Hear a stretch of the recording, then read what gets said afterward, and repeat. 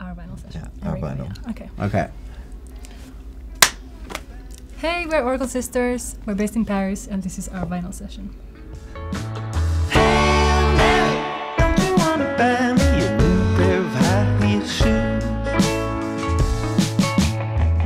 Still reading what your writers said on your three post bed while the rave review. No, we were starting out as um, in Paris, and we were starting to write, and we had done our first demos, and for some reason, our demos got around to one of the guys in Daft Punk. Um, he was saying first thing he said, which we stuck to, is that um, the fact that I was doing the artwork, he said you have to stick to that and make sure that your personal touches in everything you do.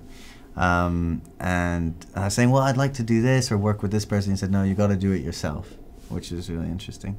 And then he he said, uh, when you're going into the music business, everyone's going to tell you and make you think that there's a pyramid that you have to climb, and that you have to compete or get to the top.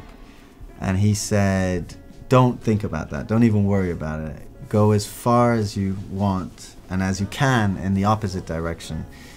Go make your island.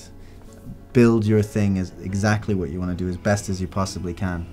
And the people who you'll want to play for and the people who want to hear the music will come to you. You know, go as far in your own direction as possible.